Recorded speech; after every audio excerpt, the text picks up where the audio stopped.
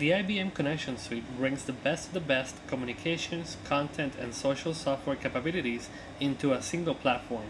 Microblogging, ideation, instant messaging, web meetings, soft phone, blogs, wikis, video, communities, document libraries, social analytics, and much more. This video is part 2 of a 3-part series which shows how the IBM Connections Suite delivers real business value by optimizing your workforce, improving customer care processes, and accelerating innovation. I'm not going to demonstrate all of these capabilities. Instead, this video presents a demo of how the IBM Connections Suite helps improve customer care processes. And specifically, I'll show some of the capabilities of the IBM Connections Suite such as presence, microblogging, communities, ideation, video meetings, and document library. Let's get started and switch to the homepage of the IBM Connections Suite. This is the IBM Connections Suite. From within the IBM Connections Suite, I have access to all the expertise in my organization and I can build communities with those experts and from those communities collaborate using wikis, discussion forums, web meetings, video meetings, ideation, we have a media gallery, and much more. Now from within the homepage, we see that we have a list of status updates from my colleagues. And it's great because I can see what they're working on and it allows me to learn on the fly.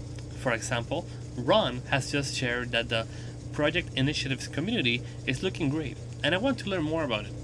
So to do that, I hover over his name and get his business card. And from within his business card, I have a direct link to his blogs, his forums, his wikis, his communities and bookmarks, his files, projects, and of course, his profile. I can also see that he's currently online on his mobile device. He's the project lead based out of Toronto, and I can see his phone number and his email address.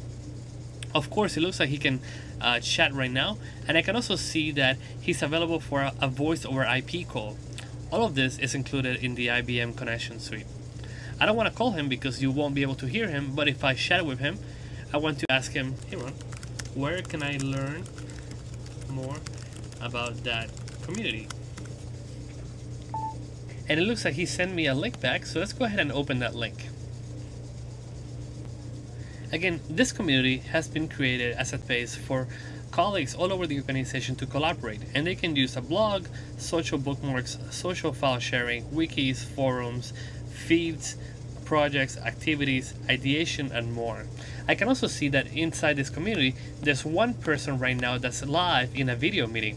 And this is fantastic because if I needed a live help, I could just click on join video collaboration and it will launch an instant video meeting with that person.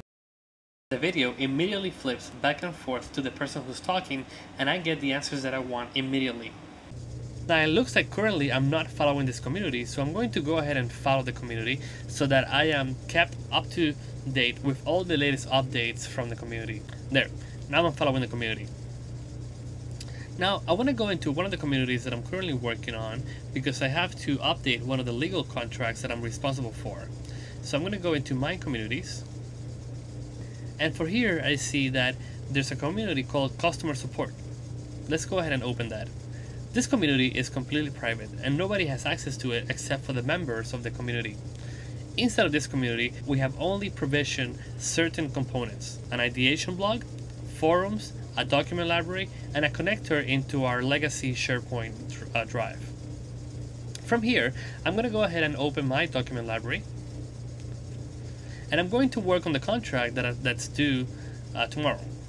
Once the, the folder loads, I'm going to open the records retention folder. And now we can see all the documents that are available in this folder. I see that three documents are currently checked out, and the others I can take other actions on. I can download, check it out, edit document, edit the metadata, replace it, and so forth. Now, one of the things that I love about the IBM Connections Suite is the ability to do round-trip editing directly from the web browser. So for example, if I want to edit this document, the confidentiality agreement, all I have to do is edit the document and the desktop has detected that I've clicked on the link and it's going to launch the correct productivity app for me to edit this document. In this case, it's going to launch Microsoft Word. And here's my document. And this is great. Now, notice that this only took one click. I did not have to download the file, put it into a temp directory, then close my browser, find the file, and then open it with Word. And that's a seven to eight step process, which is now a single step. So what I'm going to do is I'm going to simply edit this document. And now it is understood and agreed, and this looks good. And all I do is simply close the application. It says, do you want to save your current changes? I say yes. And it says that I have currently checked out this document. W would I like to check it back in? Yes. So again, the whole process of checking out the document, downloading it, storing, then opening it up with my productivity suite was just reduced to a single step. Then saving the document and re-uploading it back to the server and checking it back in, all that process was also reduced to a single step. How great is that? Now when I refresh this, it looks like the document was just uploaded to the next version and my changes have been committed and this document is ready again to be edited by somebody else. How easy is that? Now because I work in customer support, I need to be able to have access to my documents wherever I am. If I open my email client here, I can quickly take emails, reply to them, and send a link back to the document that I edited directly from my email client. Very straightforward.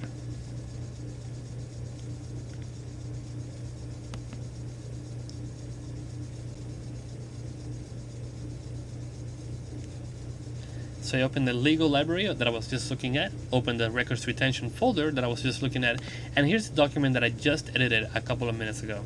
So simply click OK. And now notice that a link to the document has been attached. This makes it very easy for me to send emails to my colleagues and my uh, customers and have them always pointing to the latest and greatest document. And not only that, I also save on bandwidth and email storage because I don't have to manually attach the file to uh, the email and I'm always guaranteed that I'm pointing to a single version of the truth. The IBM Connections Suite allows me to store emails directly in my document library. If I want to, I can take this email, add it to a place, and all I do is I pick the legal folder that I was just working on. Of course, I can pick any community library that I want. I give it a name, let's say uh, customer email. So this is my customer email. I click on add. I verify the properties, click OK, and that's it. Very straightforward, very easy to use. Now, not only that, now notice on the bottom right of the screen, I have the latest status updates and the latest activity stream that's coming directly from the IBM Connections Suite. And this is highlighting everything that Samantha is doing within IBM Connections. And it's doing this because I'm currently selected the email from Samantha.